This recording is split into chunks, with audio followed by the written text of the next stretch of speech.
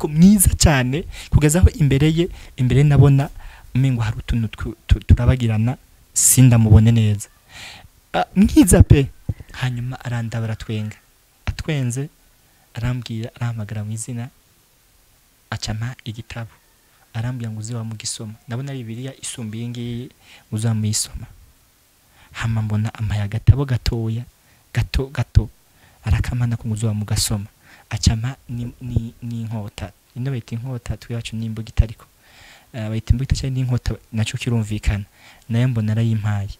Ayimpaye arambwira ngo ndaguhaye ubutware ku barozi. Muri icyo gihe hari n'aho narara hanze banyirukanye. Iwanyu? Yego. Ariko si ibyo bibaho ku mwana w'imyaka icumi? Eh, nyine hari igihe ba- bagukubita Mm. bagukubita kubwo gutinya inkoni nawe ukibwiriza ukiruka Mhm. wiruka rero nta kundi nyine urariyo Eh, hari n'igihe nyine byashoboka eh, ba- baba bagomba kunkubita nkaba ndahunga kare kuko naba nzi ko hari igihe nshobora kurara mboshe hanze Mhm. eh, nkagira ikibazo cy'uko narara mboshe nkavuga ati okay reka nigendere mbe ndagiye kare nk- nkahunga mu nyuma mbona ah, nka- sene ibaye ahari ahari mbona ni nk'umuntu yambaye impuzu zera ndabona kumwe na mona nyene yambaye impuzu zera ariko afise inkovu inkovu ngaha ni mu kiganza ni mu birenge. Hanyuma mbona je nabona umengo ndatangaye kuko mva byari ibintu na yo ibintu ndatangaye biba nk'akanya gato nk'isasi mbona avuyeho aho yari ari nki- nk'ikwisima avuyeho mbona amaraso ngaha menshi mu biganza aca arakoroka. Ndifuza ko abantu bamenya yesu adatanga imikate gusa. Ahubwo yesu uh, akubera ubuzima. Eh, navuga ko muri njyewe nkunda yesu atacyarampa kandi nkamukunda yanampaye nta cumba ndamwitezeho by'ukuri va ngo nutambika inzokuvaho oya kuko namukunze ntazi nuko ibyo bintu bitanga rero hari ukuntu bamwe canke bagenzi banje dushobora kuba twakiriye yesu atanga abagabo atanga abagore yesu yubaka inzu ni ukuri arazubaka kose. Ariko hariho yesu wundi w'uburyohe. Ah, ab'ubuzima hamwe ku- kubona ubwiza bwiwe gusa kubwumva buri muri wewe bukurutira umugabo. Wumva ko niyamuguha azomuguha ari amen. Ariko bitogusaza mumara igihe kirekire ufukama nta kindi ubwira imana. Kuko ah, hari ugusenga ni ugusega umuntu akamara igihe asega imana akatigera asenga.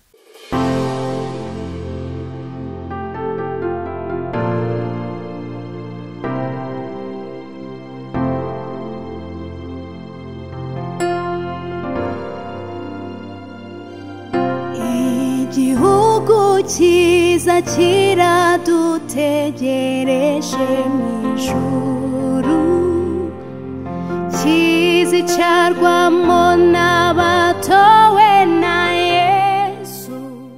Amahoro y'imana kuri wowe wahisemo gukurikira beora washyingiwe. Ubuntu bw'imana bube kuri wowe. Nitwa usabyiza pamfile ngize umugisha wo kubana na- na mwene data nagira ngo musabe adusuhuze anatwibwire ni karibu. Yesu ashimwe cyane ahimbazwe iteka ryose turabashohoje mu izina rya yesu kirisito turabikirije yego hanyuma ku mazina yanjye nitwa emmanuel niyo mwungere nkaba ndi umurundi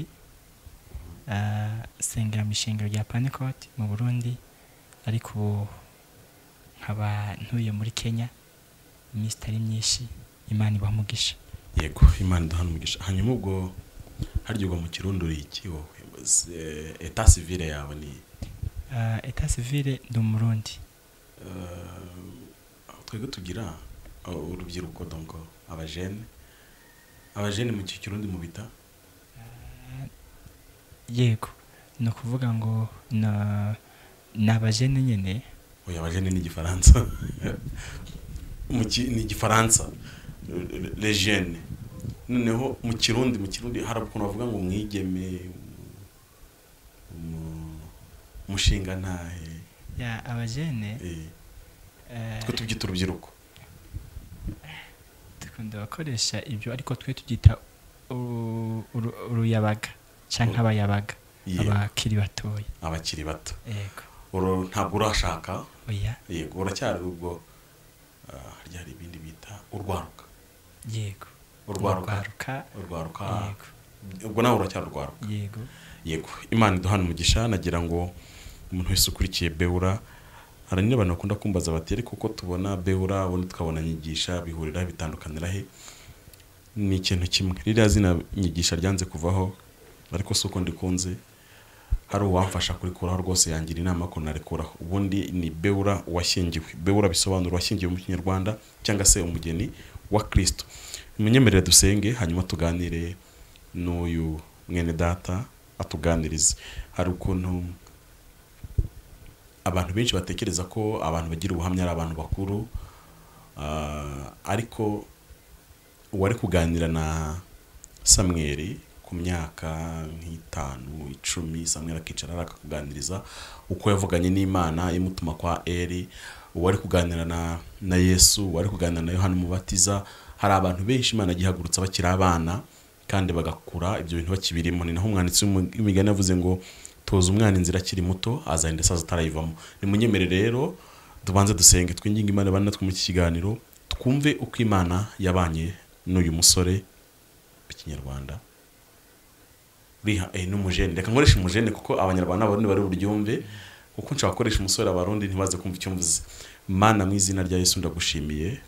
Uri mwiza ubereye mwiza wo gutegereje bose n'ubugingo bwawe gushaka wera ibihe byose ntuhinduka uri imana ibabarira ibyaha n'ibicumuro no gukiranirwa uri imana ifite kugira neza kwinshi ihoranira abantu bayo imbabazi uri imana ihora abana gukiranirwa kwa base ukageza ku n'ubuvivure bwa kwanga kandi uri imana ibabarira abana b'umukiranutsi ibihe ibihumbi. Ushimye kubwa kamere yawe ukuzi byose ushobora byose ubera hose icyarimwe nta kintu kiriho na kimwe kitaremwe nawe. Yaba iboneka n'ibitaboneka yaba ibyo mu isi n'ibyo mu ijuru. Ibyo mu mazi n'ibyo mu kirere byose ni wowe biremye kandi ubibeshaho. Ndagushimiye kuko uduhaye umunsi kugira ngo tugukorere. Niyo mpamvu nkwinginze ngo ibendera ya kirisito izamurwe muri iki kiganiro. Ntabwo ari twe tugikora ahubwo imana ivugire mu kanwa kacu.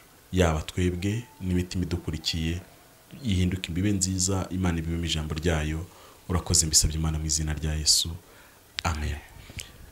Uranyemerera tuze kuganira ah, no gukira urubyiruko ariko ah, mu kinyarwanda tugira umugani uvuga ngo ugorora igiti kikiri gito kuko iyo gikuze ukajya kukigorora kiraturika.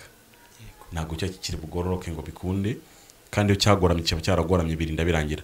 Yesu yagufasha ate kukiri mutoya? Mwahuye na yesu ryari? Yaguhinduye iki ku buzima bwawe? Urakoze. Naho turi buganire ikiganiro. Yego murakoze cyane. Ah, nezerewe n'ikiganiro. Oh, nkanezerwa cyane nuko ngire mvuge uko yesu yabanye nanjye. Ah, byibuze n'isi na yo yumve urukundo yesu yankunze nubwo nanjye ndamukunda. Ah, nakiriye yesu umwami n'umukiza ndi muto cyane ariko njya kumenya ibyo nakiriyeho cyane maze kuba nkwije imyaka cumi n'umunani. Eh, twagendanye by'ukuri nk'inshuti. Eh, ku mazina yanjye nitwa emmanuel niyo mwungere Eh, yesu baje bamutwereka muri katurika bakamutwereka ari akana gato buri gihe kuri noweli nanjye kuko twitiranwa nkama numva ko yesu tungana. Hama njya gukizwa bitoroheje ndakizwa ntibyari byoroshye kuko umuryango wacu niba bakijijwe hanyuma ndakizwa ah, menya yesu njya ngiye kubw'indirimbo. Maze gukizwa rero yesu numva ndamukunze. Iyo ndirimbo yavuga ngo hariho umukunzi witwa razaro i betaniya uwo yari arwaye cyane. Ngo maze ngo umukunzi we yesu araza aramusanga maze aramukiza. Numva nkunze uwo yesu yakijije razaro nanone nk'uko nibaza ko tungana. Ah, numva ndamukunze cyane ndi mutoya. Ah, ndamukunda uko tubana ndamukunda. Byibuze ntacyo nshingiyeho ndamukunda kuko nta- byinshi nari nzi sinari bwasome bibiliya. Ah, uwumvaga mwitiranwa yesu emmanuel ni izina ni rimwe mu mazina ye? Nanone icyatumye ndamukunda cyane ni uko jewe nakijije bitoroheje nk'uko nabivuze eh, hari igihe nakubitwa. Rero iyo canke bakanyirukana. Rero abakizwa barankunze cyane bangiraho umugisha yenda bajyaho ubundi eh, baza bambwira ngo wihangane. Yesu azokuhanagura amosozi. Warize? Eh, nkumva ko hari akarimbo twakunda kuririmba kavuga ngo azoduhanagura amarira twarize tumukorere azoduhemba. Nkumva ko jeho kuko ndira. Azoyampanagura kuko kandi ahari. None se kuko warariraga ubwo narakubitwa. Wakubitwaga nande kubera iki? Ah, ubwo kubera ko mu muryango iwacu by'ukuri ntabwo bakunda ko umuntu ajya mu bakizwa Eh, Ah, ntabwo babikunda. Rero eh, ba- babona nk'umwana aba yananiranye. Kuba avuye neza imyaka cumi ukaba uvuye mu itorero rya- so ukajya mu rindi babona ko nyine unaniranye eh, ukoze ibidakorwa rero nakubitwa uburyo mveyo. Hama nanjye nkumva ndahakunze hari mu bana tungana numva kandi nishimiye yesu. Mhm. nkumva ndamukunze naramukunda ah, nka- nkaronka ukuntu bisobanura kuko nashobora kuva muhira saa kumi z'ijoro nja gusenga ahantu nkacana mu biti mu ishyamba eh, nkashikayo atari umuntu arashikayo nkashikayo jenyine ku myaka icumi. Imyaka icumi. Rero nkumva ndamukunze cyane cyane cyane. Hari aho ngera ubu nkumva umengo umengo rwarayoyotse ahubwo. Naho ndamukunda n'ubu Mm. nkumva umenga icyo giheho byari bikomeyeho cyane. Numva ko uh, uko yoza kose je ntegereza kubana nawe. Wamukundiraga iki? Namukunda ko uh, ubwa mbere Mhm. ukuntu yakunda razaro yego. Ako karirimbo. Hama nkanamukundira ikindi ko azoduhanagura amusozi Mhm. Ah, jewe nanone ni kwandikunda na yariri barabinyumvisha batese umukunzi aragukunda nanje kandi nkumva ko mengo turangana bivuye n'ukuntu namubona muri katolika bakagize akana nkumva tungana turanitiranwa nkumva noneho tubaye abakunzi. Tubaye umwe eh, tubaye umwe nawe. Ntabwo icyo gihe wabaga ufite ubwoba bw'uko inyamaswa zakurira mu ishyamba? Ah, numva ko muri icyo gihe hari naho narara hanze banyirukanye. Iwanyu? Yego. Ariko si ibyo ntibibaho ku mwana w'imyaka icumi. Ah, nyine hari igihe ba- bagukubita Mm. bagukubita kubwo gutinya inkoni nawe ukibwiriza ukiruka Mhm. wiruka rero nta kundi nyine urariyo. Ah, hari n'igihe nyine byashoboka ba- baba bagomba kunkubita nkaba ndahunga kare kuko naba nzi ko hari igihe nshobora kurara mboshe hanze. Eh, nkagira ikibazo cy'uko narara mboshe nkavuga ati reka nigendere mbe ndagiye kare. nkahunga mugabo nyine kwaba ari gutinya kurya k'umwana yego. Wataha mu gitondo ababyeyi bakakubwira ngo iki? Ah, nyine byabaho nk'uko wumva ko umwana afise iyo myaka Mhm. ah, nabwo wumva umengo yananiranye. Ariko mama yarankunda kandi akabikunda akifuza ko njayo. Mugabo abandi bo babone ko umengo barajijutse Mhm. ntibifuze yuko noja muri ibyo bintu. Kandi ndi mutoya ntabwo wanabikunze n'umubyeyi papa ntabwo yabikundaga. Mhm. yego. Kuva ku myaka icumi urambwiye uti kongera cumi n'umunani ni bwo namusobanukiwe. Niho namusobanukiwe. Ngaho nsobanura urwo rugendo rero. Ni gute umuntu ukunze bingana gutyo urara amajoro ku bwe ukubitwa ku bwe hacira imyaka umunani utaramusobanukirwa? Ah, ubundi nasanze urugendo rwo gukizwa ni urugendo. Yego. Ah, umuntu uko agenda niko agenda yiga kandi niko agenda amenya. Yego. Ah, namaze igihe kirekire by'ukuri ndamukunda nk'umukunzi ariko nja gutahura cyane maze kuronka umuhatizo wa wa mpwemu yera Mhm. ni ho nabonye ko naho namukunda nari umunyabyaha ahubwo. Icyo gihe eh, byibuze iyo wakiriye kirisito yego. Jyewe namwakiriye ntazi ibyo ndimo. Namwakiriye yego nta byaha nawe bwabemwo ariko namukunda uko ariko umukunda nk'umwana mugenzi wawe. Ya- n- aya natebye nda- ndabona ko yesu Yego. ndabimenya. Hanyuma mugabo nkabaho mukunda uko ariko hari utwo nabamwo nanjye nk'umwana ah, nkatubamwo nkazi ko ari n'utwaha hanyuma yego. Hanyuma namara maze kubatizwa muri mwe muyera twebwe ino Ni ni mu mu mwuka mwuka wera. yego. Niho numvise noneho urukundo ru- ru- rushitse. Mhm. ni ho numvise numvise gusenga. Nkakunda gusenga nifuza no kumubona. Kuko, kuko ho naramukunda nkumva ko nzomubona ninapfa hoho m- menya guhishurirwa yesu. Kumuhishurirwa numva ndanamukunze cyane rugeze mu mutima runyigisha no gusenga. Mhm. Eh, runyigisha no gusenga no kwiyiriza eh, nifuza kumubonaho kuko ahandi ho eh, twagenda nk'abana nyine wowe wumva nyine rwa rukundo nyine rwa rundi ariko ni ho nabonye ko n'ubundi na- nari n'umunyabyaha nanone nkaba ati eh naho ntajo nakoze. Niho mbonye ko ubu nakiriye kirisito ni ho mbonye ko ubu noneho mu mutima. Kuko icyo gihe narasenze byanka nuko mpora eh, byabaye byabaye ibintu bikomeye maze kuronka mpemu yera. Umubatizo wa mpemu yera. Numva numvise urukundo rusha nkari bwagire ngira mbere y'uko wuzura umwuka wera wumvaga yesu umukunda kandi wumva wajya mu ijoro isaha n'isaha nanone itorero ryacu Mm. ryigisha kubatizwa mu mwuka wera iyo ubatijwe mu mazi gusubira kubatizwa mu Mm. mwuka wera rero hari ah, novuga bakavya cyane Mm. bakavuga ngo iyo utarabatizwa mu mwuka wera nijoro ntuzojamo Mm. rero hageze igihe numva ko nubwo kuba nkarabatizwa mu mwuka wera nijoro nkazojayo rero nkajya numva ko hari utwaha nyine batwigisha n'imana ikatubwira ukumva ko ni twa twaha dutoya natwo nutatwirinda natwo nitwo twangira kuba umunyabyaha ahubwo. Nkumva ko nyimba narigeze gutirisha mu ishuri byangize umunyabyaha cyane kandi kuba nkararonka umwuka wera mubatizo ni uko bwa bwaha. Nyimba narigeze kwiba amavoka nka- nka- nkayiba nkazi nuko nkiba ku mubanyi nka- nkayatora nkayatwara. Bakabitubwira ko ari icyaha nabwo utazobijana mu ijoro nkumva ko ari byo byantebeje kuronka umwuka wera numva rero ko ndi umunyabyaha. Ni ho rero maze kwatizwa mu mwuka numvise ko noneho. Bya byaha byose ndabibabariwe ah, mbaye umwe na kirisito numva mworeye rwa rukundo. Kuko kuko buri gihe uri gusenga utarabatizwa mu mwuka wahorana agahinda uvuga ngo nta nijoro najyamo Eh, Ah, harimo ibintu byigishwa nabi kubera iki? Hari ibintu twe dukora tukaba twabasha kubisobanura. Umuntu winjiye mu ruganda rw'isabune ukabaza umuntu ukuntu isabune bayikora. Yabikubwira akakubwira ngo afata teri poroduwi akavanga n'iporoduwi akabyara ino sabune ariko mu bijyanye n'imikorere y'imana mu muntu nta muntu n'umwe umenya ukuntu bikorwa. Ni na yo mpamvu bidashoboka gusetinga forumire Mm. ngo tuvuge ngo ngo iyo ukijijwe ngo bihita bigenda gutya na gutya. Icyakora icyo tubasha kubona ni ibimenyetso bya buri cyiciro cy'ubuzima mu mwuka uciyemo. abantu bataruzura umwuka wera bashobora kujya mu ijoro. Ariko umuntu utagira umwuka wera na gato Mm. we ntabwo yarijyamo.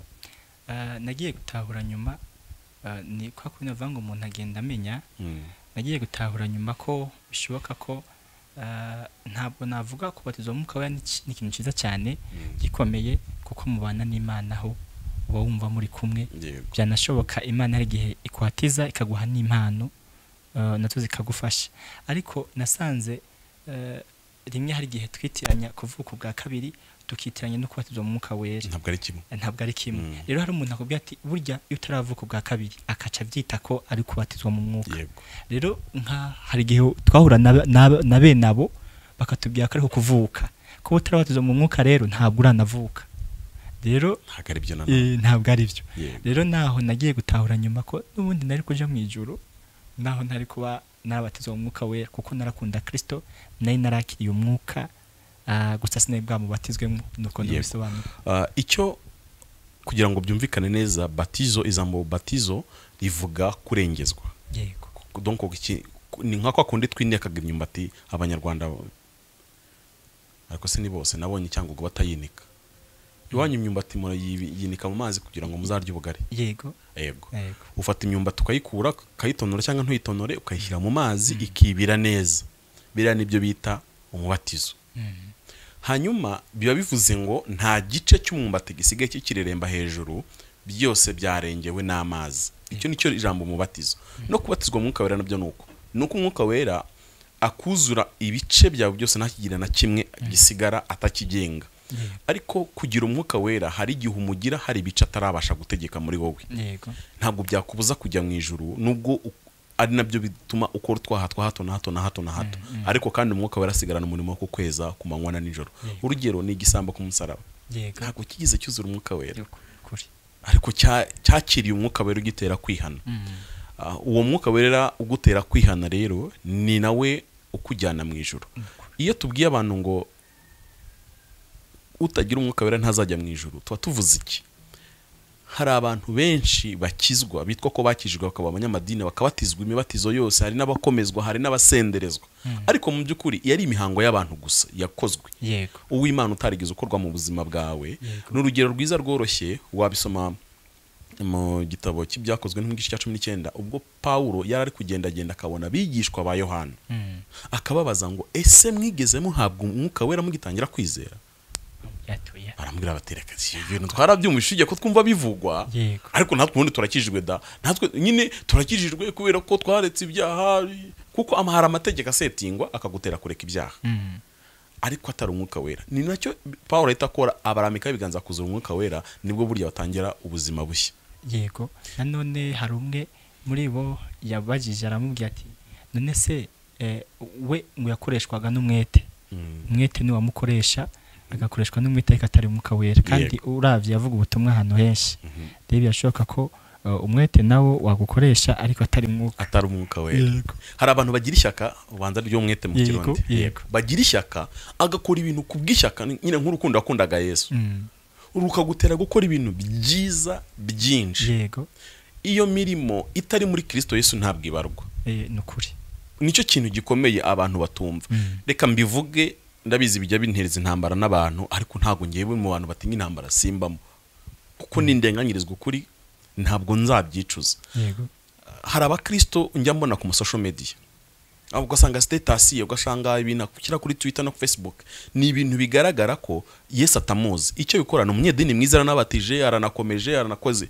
Ariko kumva aravuga iyo murebye ngo iyo mwirirwa hamwe twigisha ngo urukundo ngo ruzatujyana mu ijoro ngo ntimwigire ku bisilamu ngo ukuntu birirwa bafasha abantu ba- bajya kwa muganga gusura abarwayi. Iriya mirimo y'abayisilamu ntabwo izabahesha ubugingo. Ah, icyo ni ukuri kuko ah, ubundi ko urabona ko iyo umuntu atangura kubaho neza nka- imibereho nk'imana igomba mu gihe yakiriye kirisito ni ho imana imubara nk'ubayeho. Kuko umuntu novuga ko ah, abantu buriya ni babiri. Hari njyewe agaragara hari n'uwundi w'indani. Uriya ni we yakira kirisito ni we amenya imana ni we anavuka. Rero iyo- uriya ataravuka ibyo akora byose ntabwo ntacyo bimaze. Ntacyo bimaze. Ntaho byandikwa. Gusa bishobora kuba byandikwa mu gitabo cyo kwa satani. Ah, yaba umukozi mwiza wa satani kubera ko nyine ibintu byose yandikwa. Biracyagaragara nk'ubu ibintu byose nkora biri credit ku rwanda. Kuko ndi umunyarwanda. Ariko nimutekereze natakaje ubunyarwanda. Ibyo nakora byaba credit ku gihe gihugu ibyo rero niko abakristo dukwiye kubanza kubyumva. Mm. kuba abantu bafasha kuba abantu bagira gute kuba abakene bagutera impuhwe. Ibyo ni kamere muntu. Yego. Ntabwo byaguhesha Eh, ubugingo nanone hari urukundo dukwiye gutandukanya urukundo rwimerere rw'umuntu Mm. n'urukundo rwa kirisito. Ah, kuko hari abantu by'ukuri bataramenya kirisito usanga ari n'ababi Eh, tuvuge ko abantu babi tujya tuvuga ni abarozi Mm. umurozi akagira urukundo kandi yica akagira urukundo ahugiraho n'urukundo kandi agomba no kukwica byibuze yagufasha n'utuntu uh, nabo bagira urukundo iyo ubirabye usanga bafite n'urukundo ntabwo niyo bavuga ngo uriya n'umurozi nta ntabwo byemera. byemera. ubona bafite urukundo. Rero hari urukundo usanga umuntu yararemanwe ataf- atifuza kubona umuntu umwe ashonje ariko atari urwa kirisito oya atari urwo kirisito yamuhaye. Ni uko yaremanwe nago rubaho. Ibyo rero abantu bakwiye kwicara uyu munsi nk'itorero. Buri wese udukurikiye akajya ah, abitekereza. Ikikwemeza ko izina ryawe ryanditswe mu gitabo cy'ubugingo ni uko imana iguhamiriza kuguha umwuka wera. Yego. Rwose kandi kugira umwuka wera ntabwo bibuza abantu gukora ibyaha. Ibyo abantu babyi- barabyitiranya. Kubera ko nyine turacyatuye muri uyu mubiri. Kandi uyu mubiri wo wamaze gukatirwa wo ubwawo. Urabizi neza uyu mubiri wanjye uzarimbuka uko byagenda kose. Ugomba gukora ibishoboka byose rero kugira ngo n'ubugingo buzarimbuke. Kuko nkiri muri uyu mubiri u- ucumuza ubugingo. Ariko ubugingo buhora mu ntambara yo kurwana n'ibyaha. Yego. Iyo ubugingo burekeyeho kurwana n'ibyaha ibyaha birabwinjirana nabwo bugapfa. Kuko biravuga ngo ubugingo bukora icyaha ni bwo buzapfa. Niko imana abwiye ezekiyeli even na, na mose niko imana yamubwiye. Iravuga ngo ubugingo bukora icyaha ni bwo buzapfa. Ariko ubugingo budakora icyaha ntacyo buzaba. Hanyuma kugira ngo ubugingo bwacu bube buzima bituruka muri kristo yesu. Ku myaka yawe cumi n'umunani tugaruke ku buhamya. Wakira umwuka wera arakuzura noneho. Icyo gihe ni hamwe tuvuga ngo si nkiri uwanjye ngo nigenge. Yego. Nubwo hari igihe twari dukijijwe hari igihe tuba tunagiramo akantu ko kwigenga gashobora kudukurura ibyago byo kurimbuka mu buryo bworoshye. Mm. ari na cyo kintu gituma umuntu wese udukurikira akwiye gushikarira kuzura umwuka wera kuko iyo wuzuye umwuka wera akugenga muri byose. Ariko iyo ufite umwuka wera aba yakugira inama ariko atafata ibyemezo by'ubuzima bwawe. Mm. ariko iyo wamaze kumwuzura noneho ubwo n'ibyemezo arijya bifata.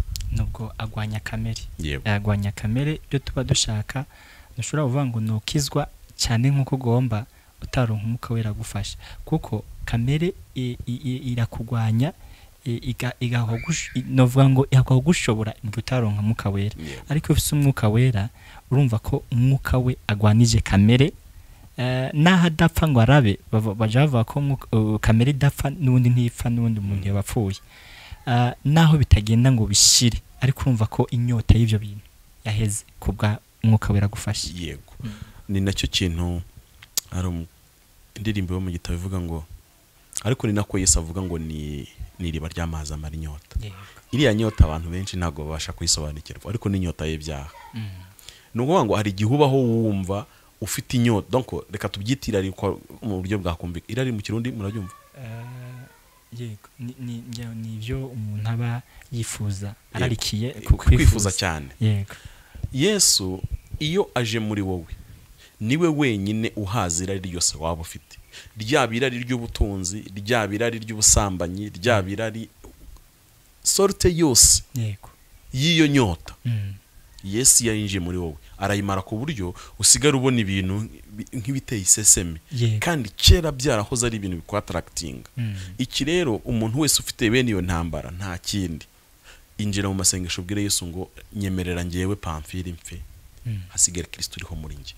Nibwo utangira kubona ibintu mu buryo yesu abibonamo. Mm. kuko mu gihe cyose ubona ibintu mu buryo yesu atabibonamo muhora mu ntambara we na yesu. Mm. kuko yesu arakuba ati iki kintu ni umukara. Ukavuga uti ntabwo bibaho yesu. Reba ukuntu ari umweru ariko Mm. izo ntambara twagwana na zo niyo mpamvu navu- navuze ngo uh, ntuba urumva nyine nubwo wari usanzwe ukunda yesu Mhm. hari akantu cyo wumva umenga upfuyeko yego. Kuko hari ikintu bakubwira ati iki ni icyaha. Ukavuga ati reka reka. Iki ntabwo ari icyaha.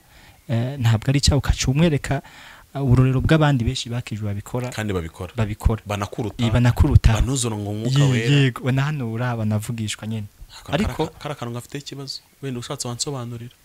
Ah, reka nguhe nk'urugero rworoshye. yego. Nari nkubwiye nti mu rwanda yego. iwacu mu burundi. Rega ni u rwanda n'urundi. Ni u rwanda. Zose ni, rwanda ebyiri. Mm. ni u rwanda n'urundi. Ntekereza ko njya numva mu mateka ari uko abazungu ngo babyise kuriya ni u rwanda n'urundi tugira ibibazo mu madini. Iki kintu ntabwo mbasha kucyumva pe. Cyarananiye umuntu uzakinsubiza azaba amfashije. Hari ukuntu umuntu yuzura umwuka wera akanahanura. Ariko agahanurira ubwoko bumwe ubundi atawuhanurira akavuga ati ababa muri ubu bwoko ntabwo ntibanakizwa mbese ku buryo adashobora kubagirira impuhwe no kumva yabavugaho ibyiza. Ku buryo umubona ari umupasiteri mwiza ubwiriza kumva amavuta niko barokore bavuga. Ariko iyo ageze mu rugo yakira abantu abanje kubareba mu bwoko bavukamo. Nkibaza uyu mwuka yahinduye iki mu buzima bw'uyu muntu? Ese ni umwuka uravugiraga muri uyu muntu? Ese si byo bitera ya filozofi banavuga ngo imana ihagarara ku bitugu by'abapfapfa ikabwiriza abagwaneza ubutumwa bwiza kandi ari ijambo ritaba muri bibiliya? Ibi bintu bigenda gute? Ni gute umuntu wuzura umwuka wera? Ariko akaba ari imbata y'ibyaha runaka. Ah, reka mvuge iki? Mhm. twe ba- baja bavuga ko umwuka wera agenda. Yego. Mugabo koko kuri jewe ntaho ntaho bisoma nyine ko jewe mba mbona ko ahabwa agutegereza agutegereza ko nk'iyo ukoze icyaha runaka Mhm. umwuka wera by'ukuri ntacyo ahita ngo aragiye. Ahubwo mba mbona agutegereje ti nugaruka mu murongo. Ndakwakira. Ndakwakira. Yego. Hama iyo ariko abwirizaho bishoboka ko ashobora kubwirizwa mu mwuka w'abamusengeye akaba ariko abwiriza by'ukuri imana itamwemera. Mhm. biranashoboka akabwiriza imana itamwemera ariko ah, kuko imana icyo yagombye kubwira itorero ryayo ikamucamo ika- ikavuga. Yego. Ah, hanyuma nyine yisubira muri bwa buzima bwiwe akagaruka muri ka kamere ke mu yandi majambo uhoraho we uwiteka agomba kuganiriza abantu biwe anyuze mu mu muntu uwo ari we wese. Yego. Kandi koko kuko wewe afise yari afise n'izo mpano Mhm. Ah, imana ishobora kuzimugarukanamwo Mhm. ah, akiyumva nka kwa kundi ahora yiyumva ariko by'ukuri atari ko kimeze kuko yari amutegereje yanasenze imana imugiriye ubuntu ariko mba numva atona bihoramo imana imugiriye ubuntu imuhaye gusubira mu- muri bwa butumwa bwiwe aravuze arabwirije kandi abwije neza ariko siko by'ukuri ameze muri we. Ahubwo ni mwuka we yamutegereje asuye kumwakira kandi n'itorero riba ryamusengeye kugira ngo ah, imana ishobore gutanga mesaje ku- bayikeneye. Hama imana ikamucamwo ataruka ari umwuka wiwe. Oya ahubwo ari umwuka w'abamusengeye kuko imana igomba gutanga mesaje umuntu wabonye farawo yarose kandi ari imana avuganye nawe niko yosefu yamusobanura amubwira. Aramubwira ngo imana yaguhishuriye ibigiye kubaho. Ashobora kuba gutekereza ko farawo ari umukiranutsi w'imana udasanzwe. Ariko Mm. imana imucishije kuko imana ifite ubutware ku byo yaremye byose. Naho waba mubi kajana imana igufiteho ubutware. Nkibaza n'ubundi ntibyababujije kurimbuka. Yaba hari abantu imana yagiye ikoresha gutyo reka mvuge nk'ibiti. Ariko iyo feva y'imana yamuciyemo ntimugirire umumaro kuko atayakiranye umutima unyuzwe. Kuko byarashoboka ko farawo noneho asobanukirwa ko hejuru y'ibigirwamana byose byinshi bari bafite muri egiputa hejuru yabyo hari indi mana kandi itandukanye na byo. Bikaba byamurehereza gukizwa ntiyakizwa ubu se n'uyu munsi niko abakristo bashobora kuba babayeho ari ibikoresho imana ishobora gukoresha runaka ariko mu by'ukuri bitazakubuza kurimbuka. Hari ijambo tujya dusoma muri batayo Mm. eh, rivuga ngo yesu azobwira abo bantu. Ababwiye ngo ntabwo nigeze ndabamenya. Mhm. abo bantu ba- ba- ba- bavuga mu cyiciro eh, ni batatu. Umu- umuvugishwa abahanuzi. ah, umuhanuzi Mhm. n'ukoreshwa ibitangaza. Yego. Ah, uyundi ni Donc hari twarahanuraga eh, twirukanaga abadayimoni. Yego. Yego. Rero abo bantu by'ukuri iyo tubaraba ntabwo ari babandi twita ngo ni abasitanisite bashoboka ko aba ari jewe nakiriye ibitangaza gusa nkakoreshwa ibyo ngibyo hanyuma by'ukuri atari uko ndabikoreshwa kugira ngo yesu ashyirwe hejuru. Mm, bitambuza gukora ibyaha ndasambana ariko ntacyo ninza nkavuga izina rya yesu. Kuko impano yo yesu ntaza yicuza impano yaguhaye. Ashobora guha impano ukaba uyifise ugakorana n'ibyaha nanone ukayigumana. Mhm. kuko si nkene i- i- i- i- impano yaguhaye urayigumana hama igaha n'uyundi ikagenda imuha. Rero izo mpano zishobora kuguma zikora ariko iyo imana itakwemera. Ah, ukazikoresha ugakoresha ibitangaza by'ukuri abantu bakihana ku bwawe bagakizwa bakamenya kirisito ariko weho imana itakwemera. Kuko urasambana ubikora uvuga ubutumwa nanone ufise aba- aba- aba- abandi bagore hanze ah, ariko imana ikakwihorera ikavuga ngo ndindiye urubanza. Niyo mpamvu bariya abantu azababwira ngo sinigeze ndabamenya. Si uko by'ukuri atabamenye oya ahubwo ni uko bamuhindutse mwene magambo ntimwabaye ku rutonde rw'abakozi banjye Yego. simbazi mu bakozi simbazi. Mbazi nk'abavugabutumwa bari hariya bari aho ngaho. Eh, ni nk'uko pawulo ni we akoresha ijambo ryiza aravuga ngo zari inzererezi zagendaga zirukana abadayimoni mu izina rya yesu pawulo avuga. Yego. Izo nzererezi rero turazigwije nyinshi mu murimo w'imana. Amagambo dukoresha abantu akamata ariko uratukana. Ariko rwose niwumva ntukanye igitutsi cy'abanyarwanda uzamenyihanisha ariko numva mvuze ijambo rya bibiliya icyo bikora nyine utashakaga ko mvuga cyangwa mudakunda. Aho uzamenye ko ari wowe ufite ikibazo ntabwo ari njyewe ufite ikibazo. Kuko niba bibiliya yaravuze ngo aba bantu uwakubitanye na bano basore bo mu byakozwe n'intumwa bari gusengera nk'umusazi agakira. Baravuze ati tubonye abantu bafite amavuta. Ah, muri iyi minsi na kano kavugamwo nigeze kugira ubwoba cyane ndi muri kenya sinzi ibintu byabaye abakozi b'imana bamwe. Ah, ntituba turekuriwe kubavuga ariko rimwe hari igihe ngira ngo dusaba ko umuntu twohugurana. Mhm. abakozi b'imana umwe kuko ya- yaciye ni ku kinyamakuru bikagagana bagafungwa ntaco ndeka ndamuvuge. Mm. naho nkaba ndavyemerewe. By'ukuri hapfuye abantu benshi kubw'ubutumwa bw'ubuyobe. Hama Ah, ah, bamwita nyamba ari makenzi Eh. makenzi.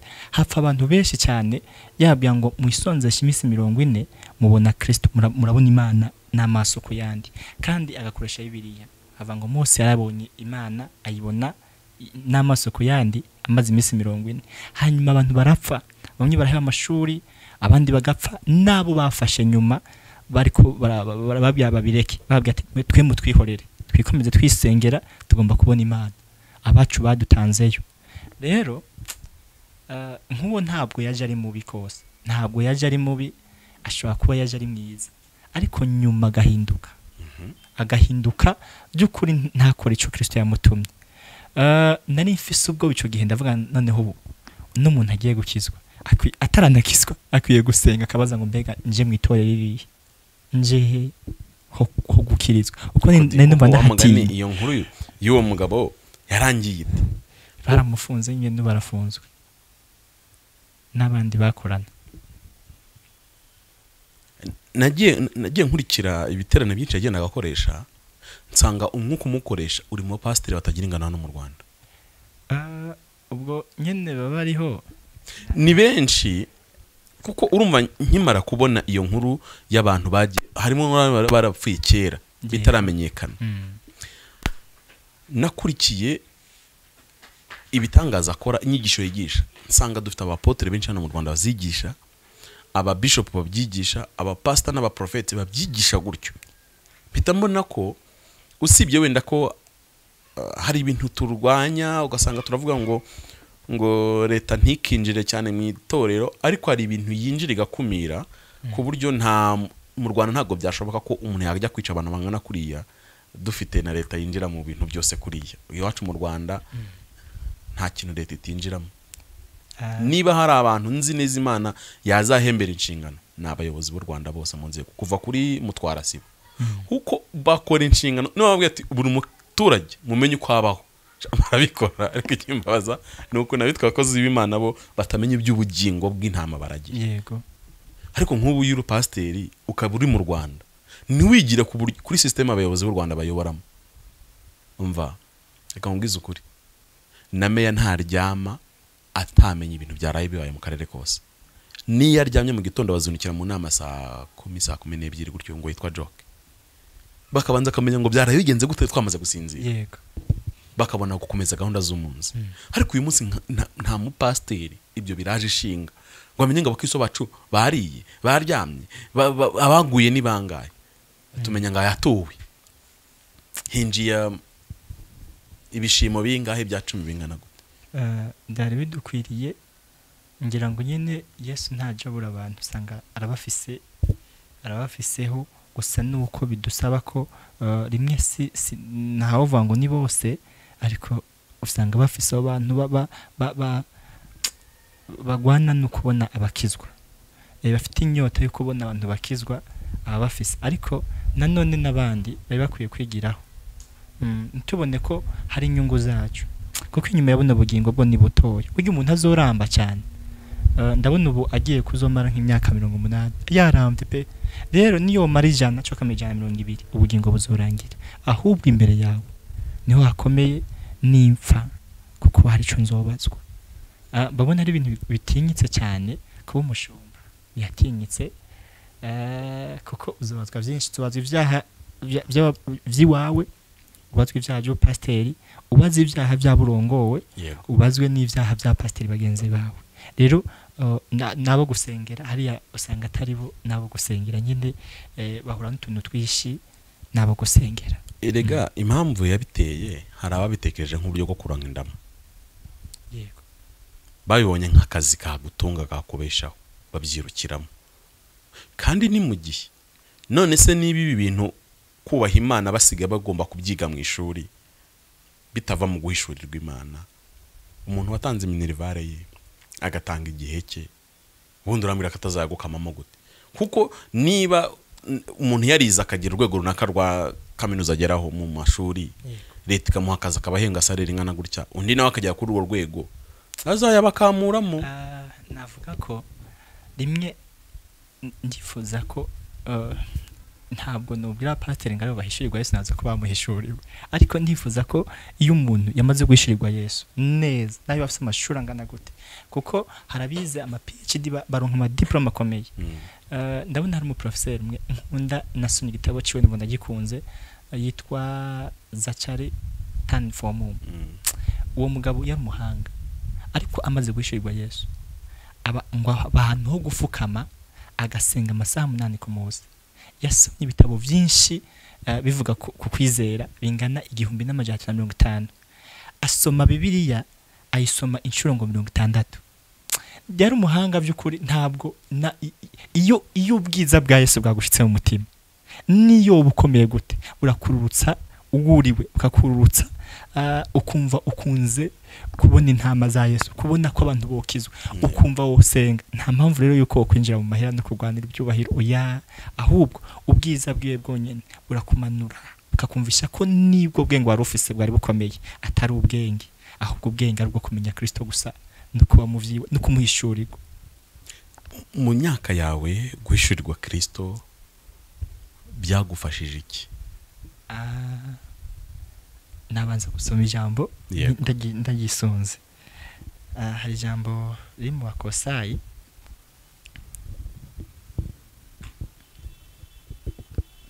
Mu bakosayi kabiri ndahera ku murongo wa gatatu. Haravuga ngo eh, reka ndetse mu kirundi. Nibaza ko rizo kumvikana mu kinyarwanda. Ah, riravuga ngo kugira ngo imitima yabo ireme kuko bamatanirijwe mu rukundo ngo bahabwe itunga ryose eh, no gutahura ryo gutahura atamazinda babone kumenya ibanga n'iry'imana eh, niryo kristo. Muri we ni ho itunga ryose n'ubwenge no kumenya ryahishijwe. Imana ishimwe. Rero kumenya yesu kuri jewe. Kuri jewe mba numva nta mba numva nta nta handi hari inyungu. Nize amashuri niga muri nje numva ko nubwo ndayiga nzohava nkakora ibyo ndiko ndigira. Eh, kuko numva ko yesu icyo mpamagaramo cyose icyo yombwira gukora ari cyo nokora. Rero kumenya yesu niryo tunga rya mbere rishobotse. Kumenya yesu ni bwo bwenge bwa mbere. Kumenya kristo niko gutahura niko kujijuka. Ah, je rero byamfashije. Byandinze. Eh, ubundi ko pawulo yaravuze ngo eh, imana yesu yagize uruhombo rwinshi cyane kubwo kumenya yesu. Arahomba byinshi kubwo kumenya we. Ariko ntabwo yavuze ngo nahombye eh, kwiba no gusambana no kugira gutenga ibyo ni byo nahombye. Oya ahubwo afise ibyo yahombye bivuye n'amashuri yari afise n'ubumenyi yari afise n'ibyo yari kuzokora avuga ngo ibi sindabikoze ntacyo reka nkore umurimo wa, data kuko nzi ko inyuma nzabona igitsibo cy'ubugingo rero njyewe icyo navuga nungutse ahubwo kubwo kumenya kristo. Nuko nungutse kuta, kutaja mu, bubare mfatwe nk'ubitwe mfiremo uh, nunguka kudajya gusambana ngo nk'abandi bose hanyuma nabwo ndabipfiremo nkaba namenye yesu kubu niyo nopfa ubu ngubu nshobora guca mbona ubugingo buhoraho. Yego. Yego. Hari itandukaniro ry'umusore wuzuye umwuka wera n'umusore utawuzuye mu isi y'iki gihe? Uh, ntiryabura Mhm. ntiryabura Billy Graham yavuze ikintu gikomeye avuga ngo uh, yavuze ngo bamubaje ati ikintu ubaho wicuza ni iki wicuza. Buri gihe ubaho uvuga ngo iyo iyo iyo bigenda uko aho wabereyeho. Yari umuvugabutumwa akomeye akavuga ngo nicujije ubusore bwanjye. Iyo mba nsubiye kuba umusore nosubira kuba umusore ubu ngubu nosenga cyane no- no- norondera imana no- nofukama nkasenga cyane ni ho numva ko nukora ibikorwa bariya bagabo bagira ahantu bakagira aho gusaza bitakunda no kubavuga ubutumwa. Havuga ngo imana yonsubiza mu busore. Ya- byaba byokunda nkasubira mu busore ni ukorera imana cyane. Rero umusore akijijwe n'udakijijwe navuga ko udakijijwe afise amagorwa menshi cyane. Menshi cyane. Eh, ashobora kuba ari ibintu runaka yagiyemwo bizomubamwo igihe kirekire niyo yokizwa. Ndavuga nk'iyo umuntu yasambanye cyane ahora ahora agwana n'iyo ntambara n'aho aba akijijwe. Niyo uba pasiteri. Uhora Yego. urwana n'izo ntambara kuko n'iyo umwuka wera pe kugeramo kuko ibyo wabonye ntashobora kubyibagirwa ibyo wabayemo ushobora kubyibagirwa rero mu gihe wakijijwe ukiri mutoya ukaba mu by'umwuka ukaba mu gusenga buri gihe inzozi zawe ni ugusenga. Niyo ugabanukiwe wibuka ibihe wabayemo byo gusenga ukavuga ngo ndifuza gusubira muri bya bihe nahozemo. Rero uyu ndi we iyo kamere ije cyane yifuza gusubira mu bihe yahozemo kandi ni iby'ubusambanyi yego. Yego. Mu bantu bakundana ari igihe abantu bahura bagakundana bataziranye. Donc batarahura eh, imbona nkubone ahubwo wenda yarabonye nk'agafoto kawe akagakunda kuri facebook akagakunda ahantu biri biriho. Hanyuma akabona kontakiti yawe mukavugana akagusobanurira ukuntu agukunda bitewe n'impamvu mukazifuza guhura. Uko ni ni ibya hano mu isi.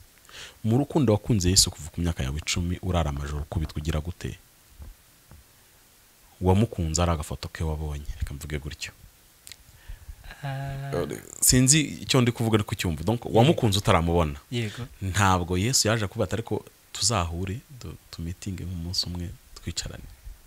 Ah, oya. Ubwo yesu nki- nkikiri mu myaka cumi gushika kuri ndumva cumi n'icyenda.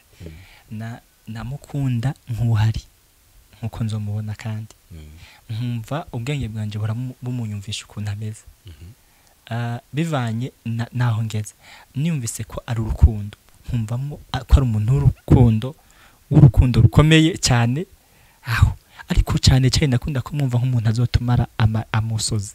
Azotumara ah, abarize. Aho ni ho nagera kuko nta biyane bwasome ho ngo menye ngo nuko kuri. Azo- a- amara agahinda amara intimba amara ibikomere nanone nitwamubona tuzi- tu- tu- tuzishima byose bishire. Ariko jye nari ndi icyo gihone nzi nkazodanabura mu musozi twarize numva ari umucuti mwiza numva ari umugenzi mwiza. Mugabo nk'ijye cumi n'icyenda ni ho nasenze by'ukuri ntabwo nuvuga ngo niko nsenga nk'ugomba kumubona cyane ariko buri gihe buri gihe mu myaka maze maze numva n'isengesho itazohinduka nta kindi nama asengera ndifuza guhishurirwa yesu. Mba nifuza kumuhishurirwa buri gihe nifuza ah, bibiliya ndayikunda ndayikunda niyo ndiko ndasoma amajambo yose ndakatishiriza muri yesu. Mba numva niyo nosoma mu itanguriro ngarukana yesu. Rero buri gihe mba numva nifuza kumuhishurirwa no kumumenya cyane. Rero igihe kimwe turiko turasenga turiko turasenga turi kumwe n'abandi twari ahantu turiko turasenga. Hama ba- bakaba twagize umuzingi ah, twagize umuzingi. Uruziga. umuzingi navuga ko cercle yewe uruziga mu ah, kinyarwanda. Ah, ni uruziga? Yego. Canke cercle yego ya ni uruziga. ya urakoze. Mhm. hama turiko turasenga rero jewe mvamwo nje inyuma y'umuzingi gatoya. Hanyuma ha- hajya mpumirije mbona umuntu muremure cyane cyane ariko agenda. Hanyuma ngo nkabona jewe ndaho ndahagaze. Ariko mbonye uyundi muntu eh, ariko agenda mu mu muhanda. Nkabona ariko agenda ariko nkiyumvira ko nohumura kugira ngo ndamurabe. Nki- mu- ubwenge bukambye ati nuhumura usanga atahari. Komeza uhumbirize urabe ko urabe iyo biherera. Mbona ba bantu nabo bari kubazunguruka. Kandi ku by'ukuri bagumye bazunguruka. Umugabo ngo mbona ngo turamukurikiye bamwe bagiye kuri kote ye nanjye nja kuri kote yindi. Ngo turamukurikiye cyane turamukurikiye. Hama twiruka we atambuka buke buke. Twiruka cyane we atambuka buke nyuma turamushikira. Byanka ko tumushikira. Byase ko tumushikira acyarahagarara twari tumva ngo turarushe. Ariko ibyo ngibyo byumva nyine byaba numva ko abantu bari ngaho ariko banayirimba nanjye nyine numva naho mpagaze. Ariko ubwenge bukambwira ati nuhumura uramubura handi nkibateka nkumure ndabe neza. Oya ndakomeza ndahumiriza hama uh, acarahindukira ahindukiye mbona ni muremure namuraba namuraba ari muremure cyane ariko mwiza. Mwiza hari igihe uh, tujya twiyumvisha yesu ko asa. Rimwe nk'abantu bava ngo naramubonye naramubonye nk'ijuru umva yaravuyeyo imana ikagira ubuntu kumubona ak- akakubwira ukuntu ameze akabura uko amuvuga. Nanjye namubonye ari mwiza cyane ariko w'inzobe umengo na uh, aforomye kuriya kw'abahindi navuga ko niwo ubona umengo wafomye nk'abeza ariko mwiza cyane kugeza aho imbere ye imbere nabona umengo hari utuntu turabagirana sindamubone neza. Ah, mwiza pe! Hanyuma arandaba aratwenga atwenze arambwira arahamagara mu izina acama igitabo. Arambwira ngo uze wamugisoma ndabona ari bibiliya isumba iyi ngiyi uzamuyisoma hama mbona ampaye agatabo gatoya gato gato. Arakamana ko ngo uze wamugasoma acama ni- ni- n'inkota ino bayita inkota twiwacu n'imbuga itariko. Uh, bayita imbuga cyangwa n'inkota na cyo kirumvikana. Nayo mbona arayimpaye. Ayimpaye arambwira ngo ndaguhaye ubutware ku barozi. Nari nzi ubundi nta nta nta ntabyo nari nzi ngo ngo ngo- mfite ubwo butware ariko buri umwe usanga nabufise hama uh, acama n'amajambo icyo gihe ambwira naho nzoja ku- kuyavuga. Avuga ngo umuhero umuhero ehura ku uh, urakuvundurukiye uraje. Kiragoye icyo kintu cyo kuvunduruka. Nabonye kigoye ki- atari cyo kimwe n'ikinyarwanda umugabo yari muri Ezekiel indwi ku murongo wa gatandatu.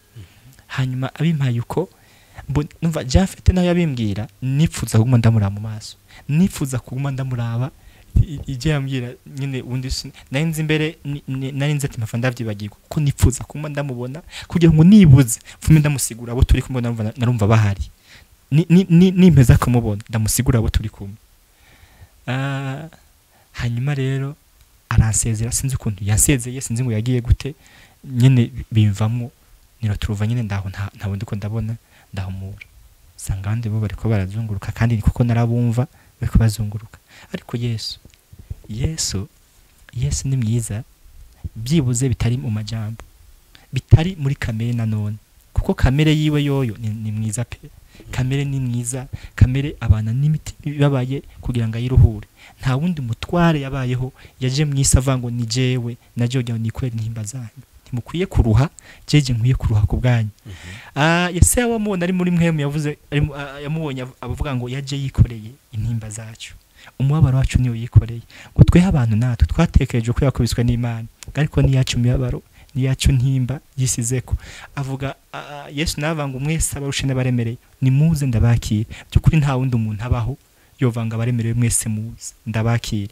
Rero kamere ye ni mwiza ariko n'ishusho na yo na yo ni ukuri ni nziza. Nuko ateye nuko asa ni mwiza Ah, ikindi gihe nigeze kumubona umuvuga butumwa ariko aravuga ubutumwa avuga ubutumwa turanezerwa. Hama avuga ukuntu iyo umuntu akoze icyaha aba yongeye gutoneka yesu.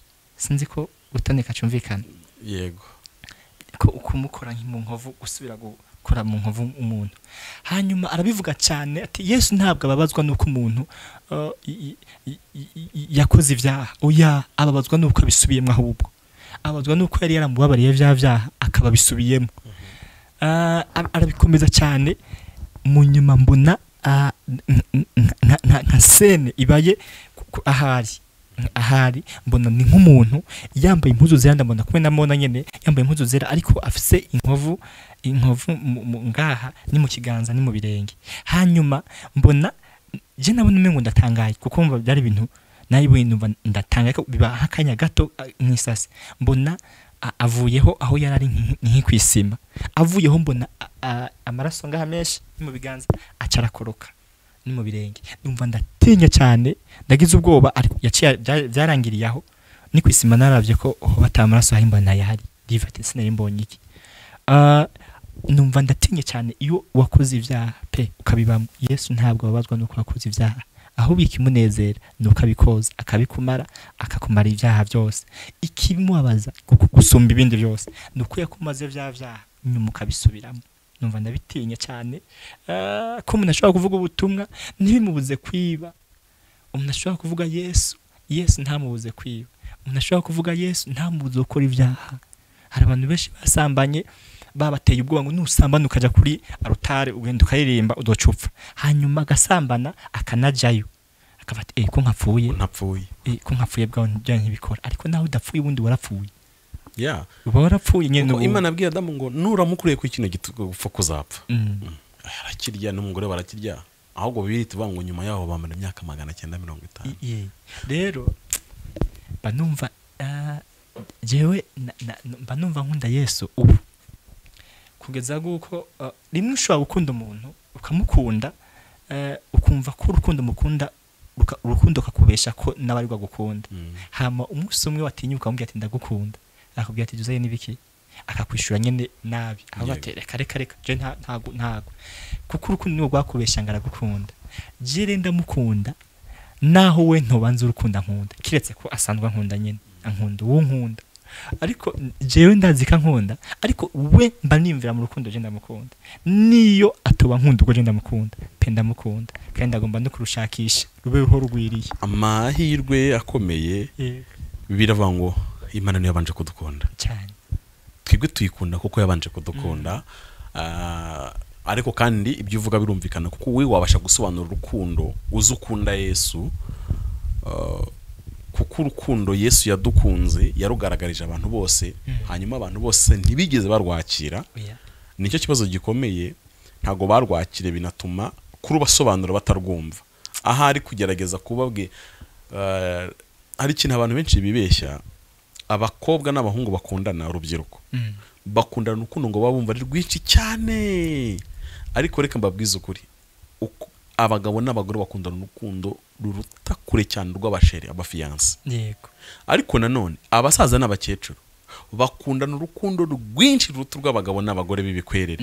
N'ikimenyimenyi hari umuhanga umwe. eh, yigeze kuvuga ko rerima ntabwo ndabizi jewe ko sindi umugabo Mm. ariko ni igitabo nasomye mm, wavuga ko iyo umuntu ageze mariage mm, umukobwa ahita abona tuvuge haciye iminsi mikeya ahita abona ko umuhungu yamubeshya. Kuko rerema iyo umuhungu ajya ku- ku- kureshya ajya amwereka urukundo rutanahari. Akamwereka urukundo rwo ngo yona- yonapfa rero amugejeje mu rugo uh, abahu- abahungu ngo bafise achievement. Iya akora ikintu akiron agi achieve. Yego. Agenda avivura. Agenda avivura. Agushikanye mu rugo nawe amera nk'uko viva bati rero ngombe ndondera imitungo. Rero ukabona asigaye yitaho imitungo gusumba wewe. Mm, rero abakobwa benshi babona ngo baca bavuga ati "Ah, ah, ah, bwa wundi ntiyankunde yarambeshye. Baribeshya Mm. kuko ni ho nari ngeze Mm. abasaza n'abakecuru noneho basazanye. Bakundana urundi rukundo runini tutabona urundi rugero rwiza rwo kurusobanura mu kinyarwanda kugeza ubwo iyo umwe apfuye akenshi n'undi ahita apfa ku buryo iyo mukecuru w'imyaka mirongo inani mirongo cyenda gutyo hejuru iyo apfuye na muzehe ahita apfa rwose nyuma y'iminsi mike muhita mubona apfuye akamukurikira. Nta n'undi mwamuzanira ngo asimbure wa wundi. Oya mu gihe mu basore n'abakobwa urukundo rwabo rumera nk'urwa amashara. Mm. amashara urayazi. Eh, reba ano makoma y'insina? Yego. Iyo yumye. Yego. Ukayacana. Bihita bigurumana umuriro ukagaragara ahantu Ya- hejuru. ni rwo rukundo rw'abajene Mm. rwose ni uko rumeze ko urwabo ruba rumubwira ati nabuze ibitotsi sinasinzira nagize gute nagize gute. Ariko urw'abagabo bagereranya ah, n'urw'abacanye inkwi ariko zifite amakara akomeye. Ariko urw'abasaza n'abakecuru ni ibishyitsi. Mm. ku buryo n'umuntu utarahura na yesu ntabwo byoroha kumusobanurira urukundo yesu yadukunze na cyane ko abenshi bahita bafata urukundo imana yadukunze nk'urusange Mm. Hashe, twese nyine yaradukunze noneho urukundo rwa rusange ntabwo bumva ruryoshye rukomeye Ah, hari ikintu Pawulo yanditse Mhm. avuga ngo byibuze umuntu wamupfira ari mwiza Mm. kugira ngo we abeho je ndi mubi nkapfa kugira ngo umwiza abeho. Abeho. Abeho. We kuko yama ibyama byinshi. Mm. ariko gupfira umuntu mubi gupfira igisambo. Ikintu kitari gifite n'umumaro. Ubona nyine ko nta mumaro. Gupfira imaraya ubona umengo ya oyi ujya yarapfuye n'ubundi. Ariko yesu we yari mwiza pe. Yemera gupfira ababi. Ah, im- im- ndiko ndaza mva i Burundi nashyitse aha ninjiye mu Rwanda mu ijoro hanyuma birangora. Ukuntu ndi buze mutara arambwira ati tega iyi modoka yose ubonye uyitege hanyuma ntega ikimodoka kinini hanyuma ninjiyemo uwo muntu arambaza ngo uri umukozi w'imana? Ndambwira ati yego. Ariko ndabitinya kuvuga ngo ndi umukozi w'imana. Uwo mengo ni umwana w'imana gusa iby'umukozi w'imana nkabireka. Hama ah, atangura kunganiza ngo none kumbwiriza rero. Ah, ndagutomboye. Ndakubwire yesu. Ndamubwira yesu. Ndamubwira urukundo. Ndabimwumvisha hajya ntangira murasetsa kweri. Ibintu byanyu wewe sanga nyamba atambeshe. Twavuye kure turaza. Aza atambira nuko imana ibaho. Akambya ati niko ntuzobona ko abasengera im- intumbi zikamuvamwo ati none biriya. Ati jewe ibyo ntabwo sindabyizera Ati, "Mm, none basi wowe wumvira ko nta nubwo usenga ati none urasenga? Ati dusengera iki? Mba nsenga nyine imana ikansubiza. No je nkasenga kunyonga imodoka. Mhm. ndabura ukundi mwumvishe ariko nyine nkabona ari- atwenga nkifata ese ntakijijwe cyangwa umuntu ariko arampenda ariko nza gutahura nyuma by'ukuri ko ntabyo ariko arumva ndababara akambya ngo none ngo nanjye ngiyo mana ngizo nyisangira nyibwira ati rega nanjye yantumye. Yantumye nyine ubu ubu nije ndiho kuri presence y'Imana wowe rero ubu Imana wowe turiko tuvuga n'Imana ati yi ibindi ndakubwira. Ni nk'Imana yari kubikubwira kuko rero itari kuza umva vyemere tuviyo arananira shitse i- Kigali arambwira ngo "Ni- turashitse. Numva dushitse atavyemeye. Numva dushitse atemeye Yesu. Numva ndababaye. Ndababara. Hanyuma ambwira ngo ntundihe. Ngo uri umukozi w'Imana. Ariko kwe ko ndi umukozi w'Imana sinkuriye amahera. Ubu rero uravyemeye ariko Imana yo ntiyemera no kwibaho. Nego fuma ndaguha amahera ariko ukeme- ukemera nawe Yesu. Mhm. Ah, rero hari urukundo uru rukundo rwa Yesu rutandukanye ni- n'izi nkundo twego tuvuga. Hariho umuhanga ndabona yitwa Gamaliel. Mhm. yigeze guhaguruka umunsi umwe mu banyekombe avuga ngo hari umugabo abagabo badutse babiri. Umwe yitwa yuda baramukurikira ndakeka ari yuda Yeah. baramukurikira abantu benshi bamukurikira. Hanyuma apfuye nabo baramuva inyuma. Barabivamo. Birarangira. Ni umuntu yapfuye nyine yarapfuye. Haza undi yitwa teyuda nawe bigenda uko agira abaforowazi benshi baramukurikira baramuvuga apfuye nabo baragenda. Hanyuma yesu wamaze gupfa. Ahubwo abantu barikuba baba benshi. Mhm. aravuga ati rero mwiyubare. Mwitonde. Mhm. uyu mugabo muri ko mugwanya? Ushobora kuba muri ko mugwanya imana? Kuko we abantu barushiza kumukunda no kwemera kumupfira. Gupfa gu- gu- gupfira uwapfuye. Mhm. rero urukundo rwa yesu eh, aho rutandukanye n'ibindi byose. Nuko we wumva ko ah, niwo kubuza ati umuntu ari kumukunda ukwemera ko upfa kandi uwo muntu ukunda nawe yarapfuye. Mu- yandi majambo eh, ntawopfira uwapfuye. Yego. Uvuga ngo ndemera ndagukunde eh, ngo ndagukunda nuta- nutavava n'uno muntu kandi yanapfuye ngo ngo wase kumukunda turakwica ukavuga ni mu nyice n'undi ndamukunda Eh, nta rundi rukundo rubaho Eh. ni cyo kintu gikomeye paul wakunze kwandika na petero. Mm. uh, ba- bavugaga even na yohana bavugaga yesu babonye. Yego. Kandi yesu muzima kuri bo. Yego. Hari igihe abakristo bagira yesu wapfuye ku buzima bwabo. Mm. bakaba bafite yesu koko yesu ariko yarapfuye nta kibaho. Yego. Ari na yo mpamvu bitababuza gukora ibyaha bakora kuko Mhm. uwakababujije yarapfuye already. Nanone hajya umuntu akora ibyaha ntiyikunda. Umuntu n- eh, ubundi nyine nk'ubu nkanje nta cankora. Mhm. reka ndakigwamo gusa. Yego. Ah, kuko abakora ibyaha bose ni abasatani cyane rero umuntu akora ibyaha ntiyikunda. Kuko amenye ko ubuzima bwiwe bwo ari butoya cyane butoya. Gukora icyaha ni ukwiyahura ni nko kwiyahura kuko rero muri muntu akoze icyaha apfuye. Nta- kuko upfa na- nanone uyu nguyu we a- we azobura ntabwo ari umuntu komutera ahubwo umuntu ni uri indani. Mm. we we yakira ubugingo cyangwa akanabuhomba. Rero iyo ukoze icyaha wishe umuntu w'indani ari imbere. Mu yandi majambo uzobaho ubuzima bwawe bwose. Ubabajwe. Wo- wo- wotahura icyo kintu. Ninkora ibyaha nimba mu buzima butejejwe nimba mu buzima budakijijwe ah, nzabaho n'ubundi buzima bubabaje buteye ubwoba. Ah, umuntu yo- yoza bivamo n'ingoga ntabwo yokora ibyaha ahubwo yobigwamo nyuma akavamo akiruka. Yego yabaho muri iyo ntambara yo kurwana no kugira ngo Mm. ataba kuko erega bibiri avuga ngo umuntu ukora ibyaha ni imbata y'ibyaha kandi twe turi imbata za kirisito yego. Ubwo rero abantu bakwiye kwiga kubitandukanya umuntu udukurikiye simbizi dufite eh, wa twese cyangwa se dufite umukoro devoir yuko umuntu wese ukurikira beura uyu mwaka wa bibiri na makumyabiri na gatatu ugomba kurangira. Niba uzarangije bibiliya inshuro imwe bitewe. Kandi turacyari mu kwa cyenda ni bwo tukigutangira Uh, wihaye pene yo gusoma bibiliya uyu mwaka warangira uyirangije hanyuma ugakomeza ukayisoma ukomeza ukayisoma. Uko uyisoma kenshi niko ikubera nshya. Kuko ni bwo buzima. Niwo muyoboro ni we muyobozi dufite. Uyu munsi utuyobora akazatugeza mu ijoro. Kuko umwuka wera ibyo akora byose abikoresha ijambo rya kirisito yaba kutweza yaba no kutuyobora atuyoboresha ijambo ry'imana muri iki gihe. Twakomeje kuganira ariko uh, kuvuga yesu kubera ko yesu ntatangira agira nta n'iherezo natwe ntabwo twamuvuga ngo azarangire. Ariko kandi ikiganiro cye gikwiye kugira aho gitangira naho kirangirira. Ndagira ngo nguhe akanya mbere y'uko dusoza ni iki kintu wabwira umukristo udukurikiye?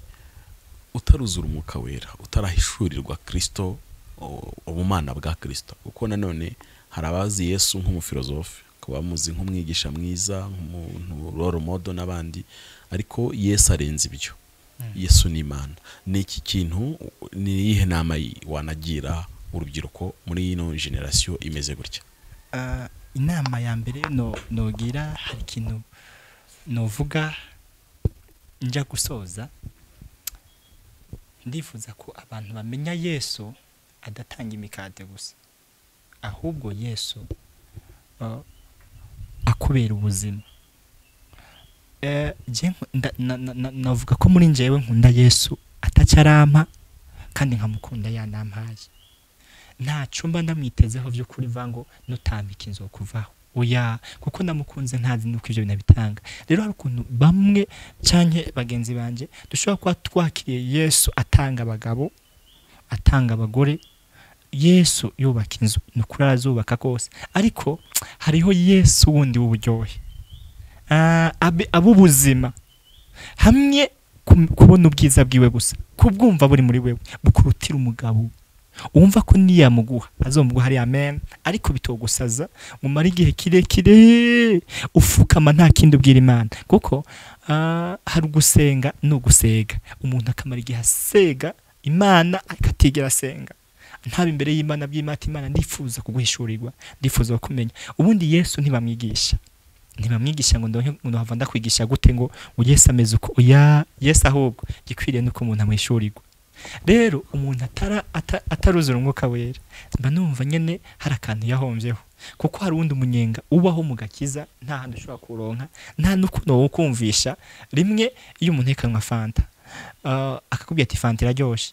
Kuko ari we kayinywa nyine arabyumva ko iryoshye we ntushobora kubyumva ko iryoshye rero sinumva uko nosobanurira abagenzi banje b'urubyiruko ukuntu yesu aryoshye bataramubamo nibamubamo hari ikintu mwari muvuze cyo gusoma bibiliya? Tukayisoma tutaronderamo inyungu runaka.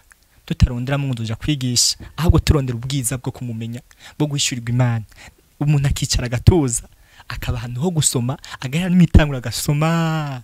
Atakindi ariko arondera ariko arondera ubwiza bwo kumenya imana no guhishurirwa no kumenya ubukristo ninde n'icyo akubereye cyo niyo ibyo byagenda uko ni ukuri azokubera ubuzima kandi azokuryohera. Ahandi ho sinshobora kumvisha ngo yesu aryoshye gute? Aha ni uko mbereye inshuti gusa nziza. Nasabye ijambo riranezera ah, mu ndirimbo igitabo cy'indirimbo ah, gatanu ku murongo w'u- w'umunani aravuga ngo mu bakobwa mu bisiyoni mumbwirire umukunzi nimwamubona. Ngo urukundo ruransabije mu kirundi bivuga ngo ah, mu cyongereza bivuga ngo asika love.